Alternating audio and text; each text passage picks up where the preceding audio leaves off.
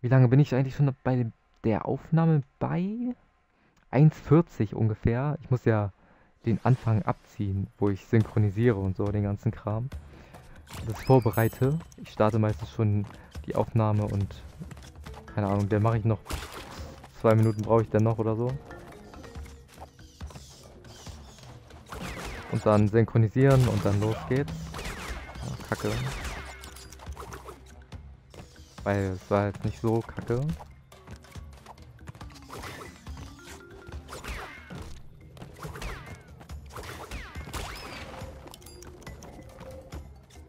Ja, hätte ich da springen können? Ich weiß nicht.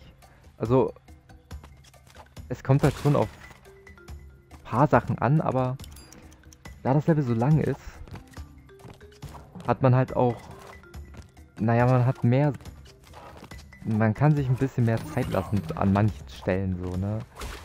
Habe ich zumindest so das Gefühl manchmal. Dass die Zeit hier ein bisschen großzügiger ist halt, weil das Level halt so lang ist.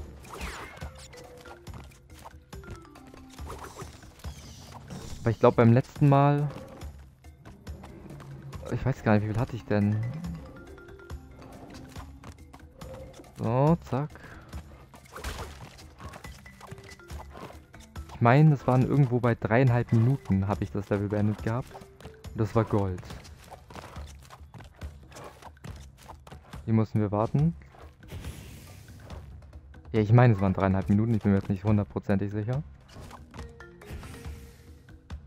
Und hier bin ich auch einfach nach links weitergesprungen, weil die vier Sekunden dazu sammeln. Also ich weiß nicht, lohnt sich wahrscheinlich schon. Aber irgendwie hat sich das so angefühlt, als würde das sich aufheben. Also so plus minus null. Was wäre ja auch eigentlich Quatsch, ne? Naja, egal. Ich habe es beim letzten Mal auch ohne geschafft.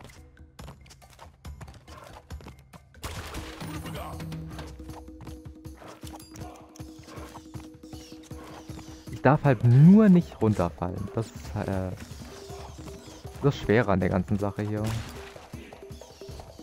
Nur nicht runterfallen. Das kann schon manchmal schwer sein. Vor allem nicht von ganz, ganz oben.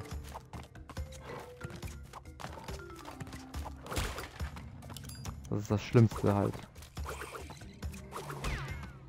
Bloß weg, Mann. Auch nochmal gerettet. Kommt man eigentlich nochmal eine Akku? Ich glaube nicht.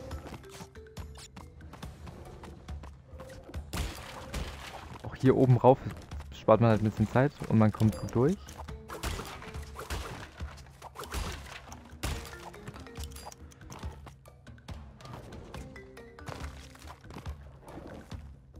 Hier müssen wir jetzt auch warten. Ganz logische Sache. Hier auch wieder rüber. So, jetzt müssen wir ja nochmal nach oben.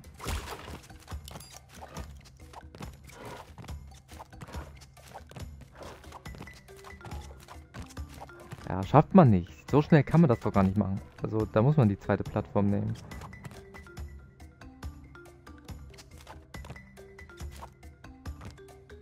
Das war Glück gehabt, aber vom Allerfeinsten. ja, ja. Das war auch Glück gehabt, ne? Wahrscheinlich war das auch Glück gehabt. Da, ich schaff das Gold nicht mehr. Also das war's mit Gold. sollte es zumindest gewesen sein, ich weiß es nicht genau, aber... Runterfallen ist halt tödlich so, ne? Das ist sowas von absolut tödlich. Aber... Ich kann halt auch wieder nicht darüber springen, so jetzt erst. Timing ist halt schon ein richtiger Abfuck.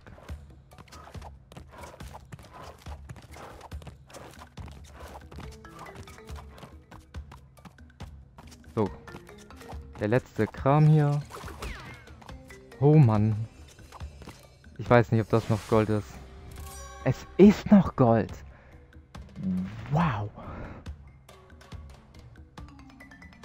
Da habe ich ja nochmal Glück gehabt, Alter. Obwohl ich runtergefallen bin. Boah, dann ist das Level ja gar nicht so scheiße schwer. Ich dachte, bei einem Fehler ist es halt over. Wie viel brauchen wir denn für Platin? 3,41? Ne, dann kann das ja mit 3,5 gar nicht sein. Wisst ihr was? Wir speichern das jetzt kurz. Speichern. Ja. 43 Prozent. Und dann laden wir das einmal kurz. Das interessiert mich jetzt. Das gucken wir jetzt kurz nach. Dann können wir auch gucken, wie viele Platin ich hatte. Ich glaube, ich hatte sechs Platin. Das wollte ich noch auch nochmal gucken. Wie viele Platin-Sachen ich da hatte. Acht sogar. Krasser Scheiß. So, um nicht gespoilert zu werden, was da alles noch kommt. Naja, was heißt gespoilert werden, ne? Gehen wir jetzt einfach einmal so rum. Ich glaube, der Weg ist ungefähr gleich. Oder vielleicht ist der andere auch kürzer, keine Ahnung.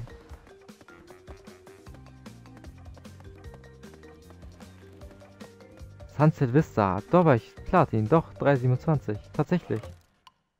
Cool. Äh. Krass.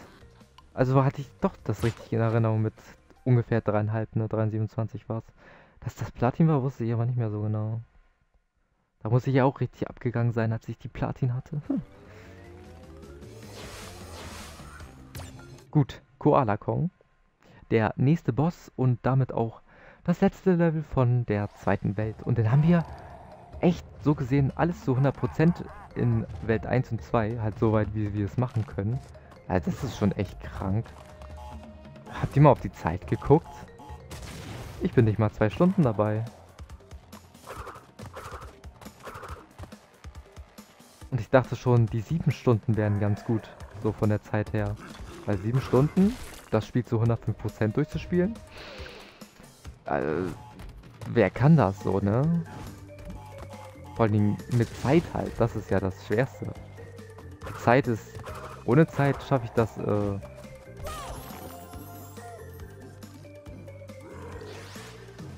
irgendwie in vier Stunden oder so. Aber Ne, warte, vier Stunden? Ich glaube, ich glaube vier Stunden. Wobei, brauche ich drei Stunden für die Zeit? Naja, kann nicht sein. Hä? Der Stein muss mich getroffen haben. Weil an dem da stirbt man nicht, wie man sieht. Ja, also wurde ich mal wieder verarscht. Weil der Stein war meilenweit weg irgendwie. Aber okay. Sehr nett. Wir bleiben jetzt auch rechts stehen. Hier können wir nach links so machen. So, jetzt kommen mehr Kisten TNT-mäßig.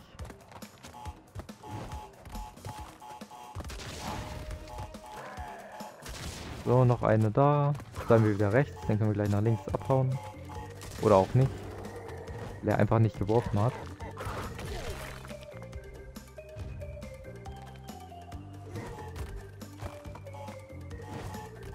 Theoretisch kann man halt in einer Ecke immer stehen bleiben und braucht nur hochspringen.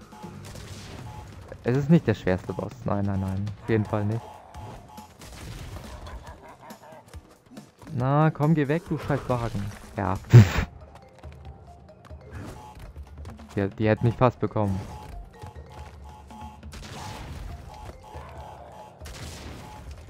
Ja, die Wagen sind richtig kacke. Die halten das so oft auf. Diesmal aber nicht, mein Freundchen. Ja. Und jetzt beim ersten Mal denkt man so, oh mein Gott. Und dann kommt der Wagen und man denkt so, wow, wow super, super.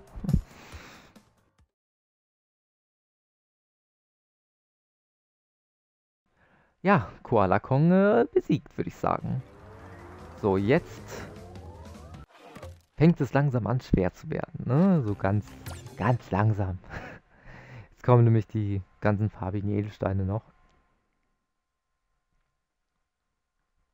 Wo wir halt nicht sterben dürfen, ne? Bla bla bla. Die können wir alles holen. Das ist schon mal klar. Das ist auch nicht so das schwerste Level, das ist eigentlich ganz angenehm. Auf Zeit äh, kann das nachher noch ein bisschen schwerer werden, aber auch das sollte nicht das Problem sein, weil das ist, naja, es ist das erste Level von denen. Hier ist halt ein kleines Secret kleines, großes Secret. Und man muss Embryo hier wieder sammeln. Alter. Hey, hey, hey, mach nicht diesen jetzt hier.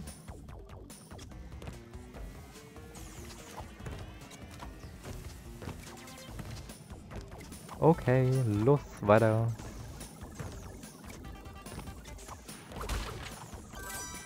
Zweite Embryo.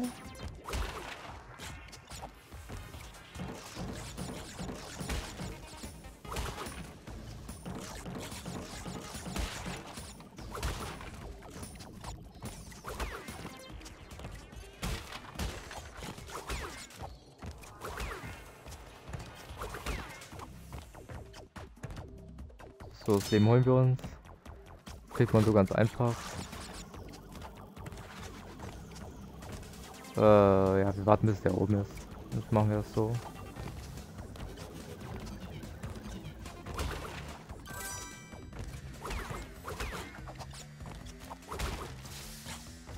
Aus den, naja, das sind so Lüftungsrohre, ne? Kommt halt was raus. Luft.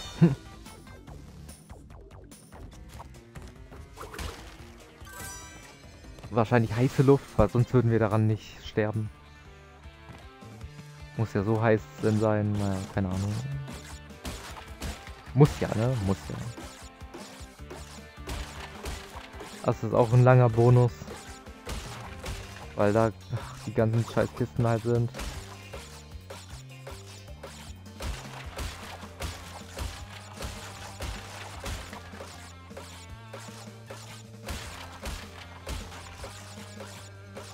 Drei, vier, fünf und weiter geht's. Alter, 100, über 100 ähm, Bumperfrüchte. Kurz vergessen, wie sie hießen.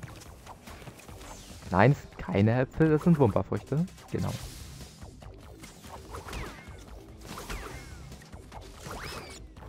So, jetzt gehen wir die 3 Akku, das ist auch ziemlich cool. Das erspart uns hier gleich äh, ein bisschen. Da kriegt man ein paar mehr Kisten, wie man sieht. War's schon.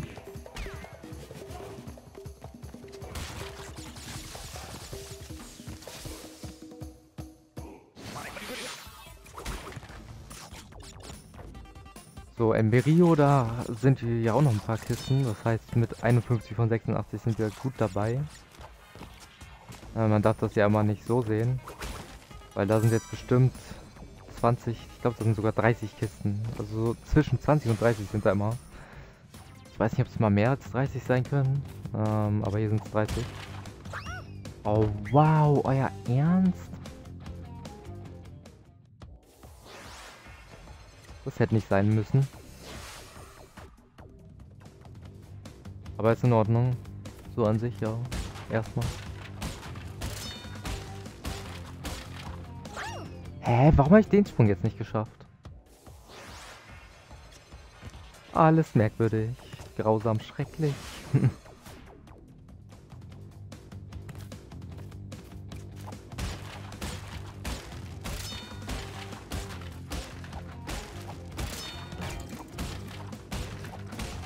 das Schwerste ist halt ganz oben, weil man kann sich halt selber nicht wirklich sehen. Und ja, pff, was war das für ein krüppeliger Dreckssprung, Alter. Man kann sich selber nicht sehen und muss halt schon fast raten, wo man hinspringt. Man sieht halt auch nicht wirklich einen Schatten oder so. Darauf kann man ja nicht wirklich gucken.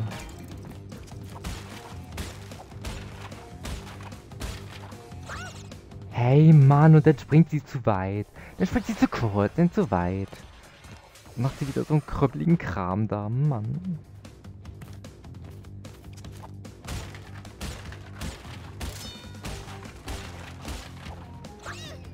Ich, ich verstehe es nicht. Mal klappt dieser Sprung mal nicht, oder was? Wie sie Lust hat. So, anscheinend hat sie keine Lust.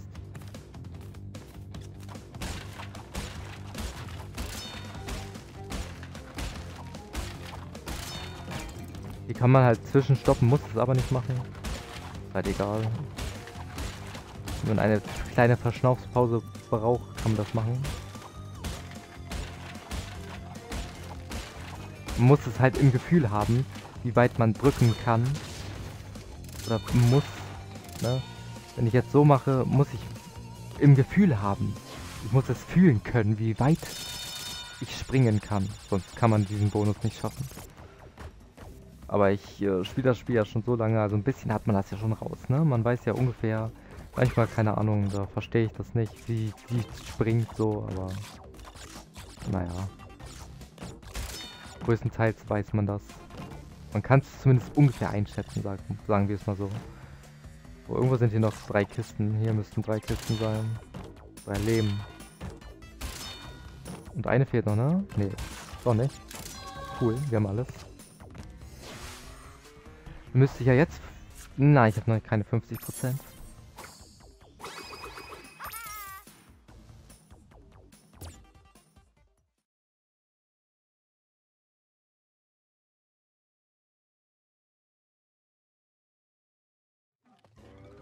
So, ich denke auf Zeit machen wir das jetzt noch, oder? Oder machen wir das jetzt später? Das könnten wir jetzt theoretisch später machen. Aber wir machen jetzt erstmal Cortex Power noch hin, hinten dran.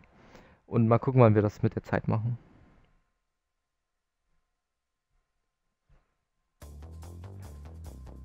Cortex Power ist nämlich, naja,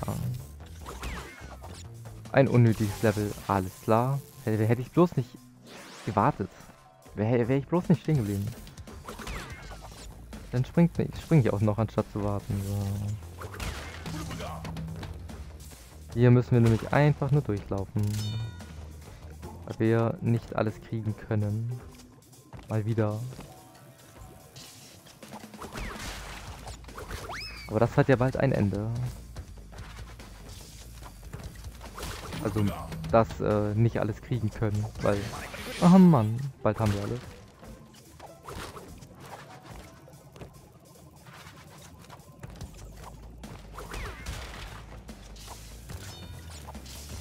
Oh, wow.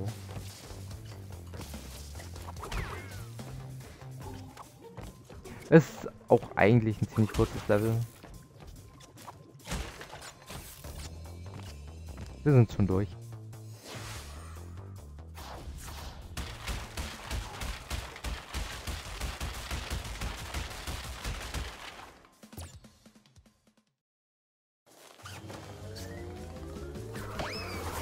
Hiermit bedanke ich mich fürs Schauen des Crash Bandicoot Insane Trilogy Parts. Ich hoffe, er hat euch gefallen und wir sehen uns dann beim nächsten Mal wieder. Bis dann und ciao.